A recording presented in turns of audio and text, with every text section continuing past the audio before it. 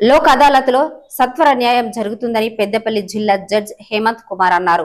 పెద్దపల్లి జిల్లా కోర్టు ఆవరణలో మండల న్యాయ సేవాధికారి సంస్థ ఆధ్వర్యంలో నిర్వహించిన లోక్ అదాలత్లో పాల్గొన్న జిల్లా జడ్జ్ హేమంత్ కుమార్ క్షణికావేశంలో చేసిన నేరాలకు కోర్టుల చుట్టూ తిరిగి వ్యయ ప్రయాసలకు గురికాకుండా రాజీ మార్గం ద్వారా కేసులను పరిష్కరించుకోవాలని సూచించారు.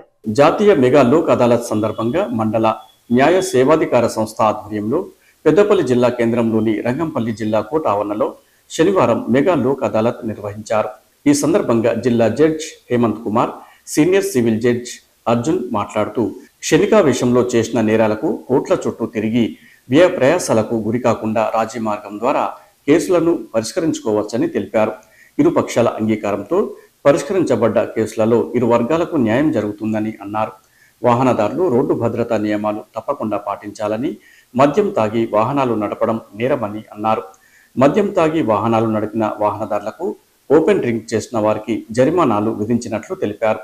ఇది మనం సామరస్యంగా మాట్లాడుకుంటూ విషయాన్ని ఎంతవరకు మెరుగుపరుచుకోవచ్చు అనేటువంటి విషయంలోనే ఉన్నాం తప్పితే ఇక్కడ తప్పు ఎంచుకోవడానికి లేదు.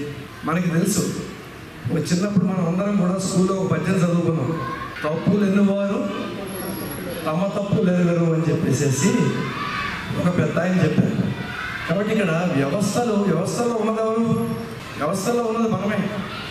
ఎక్కడి నుంచో ఆకాశం నుంచి వచ్చి హెవెన్లీ బాడీస్గా ఎవరు లేరు. అందరం కూడా ఈ వ్యవస్థలో భాగమే.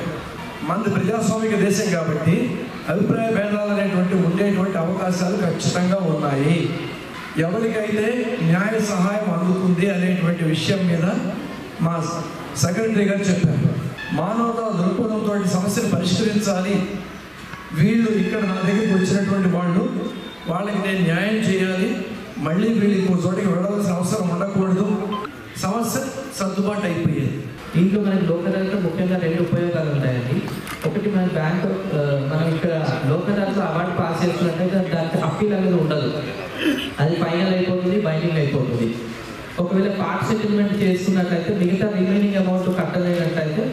అప్పుడు వాళ్ళు బ్యాంక్ వాళ్ళు ఎగ్జిక్యూషన్ పిటిషన్ వేసుకోవచ్చు.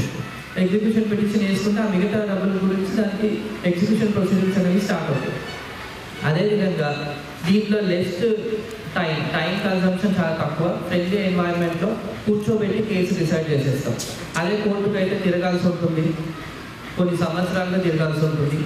అది ప్రొసీజరల్ వైజ్గా ఉండే అప్పీల్స్ రివిజన్స్ మధ్య మధ్యలో పడే పిటిషన్స్ ఆ పిటిషన్స్ మీద మళ్ళీ రివిజన్స్కి వెళ్ళడం దీంట్లో ఇది టైం టేకింగ్ ప్రాసెస్ ఉంటుంది రెగ్యులర్ కోర్సు లోక్ అదాలత్లో అయితే చాలా టైం మీకు సేవ్ అవుతుంది. కాబట్టి అందరూ కూడా లోక్ అదాలత్ ఉపయోగించుకోవాలని నా మనవి. ఇంకొకటి ఏంటంటే మన అసలు legal services authority act nineteen eighty seven ఎందుకు ఎనాక్ట్ చేయడం జరిగిందంటే డైరెక్టివ్ ప్రిన్సిపల్స్ ఆఫ్ స్టేట్ పాలసీలో స్టేట్కి ఒక బాధ్యత ఉంది.